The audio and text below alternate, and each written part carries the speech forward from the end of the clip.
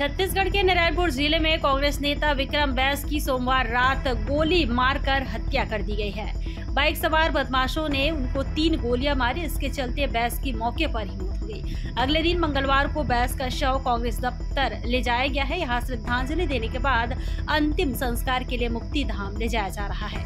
जानकारी के मुताबिक विक्रम बैस जिला मुख्यालय के बकरूपार स्थित अपने घर के बाहर टहलने के लिए निकले थे। इसी दौरान बाइक सवार पहुँचे और विक्रम पर एक के बाद एक तीन गोलियाँ दागी गई। इसके बाद हत्यारे भाग निकले। गोलियों की आवाज़ सुनकर आसपास के लोग अपने अपने घरों से बाहर निकले।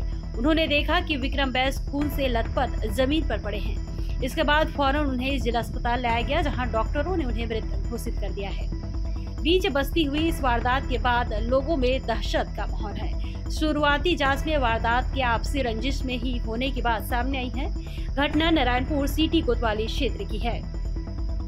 वही डिप्टी सीएम अरुण साव ने कहा कि भाजपा सभी हत्या के मामले में गंभीर है।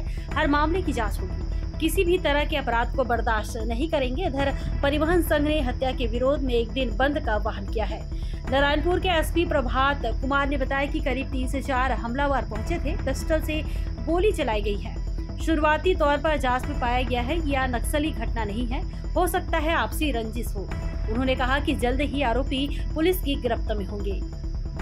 विक्रम बैस पिछले कई सालों से कांग्रेस पार्टी से जुड़कर काम कर रहे थे। वे ब्लॉक कांग्रेस कमेटी के उपाध्यक्ष थे। इसके अलावा नारायणपुर परिवहन संघ के सचिव भी थे। Bureau report, Khatpat news.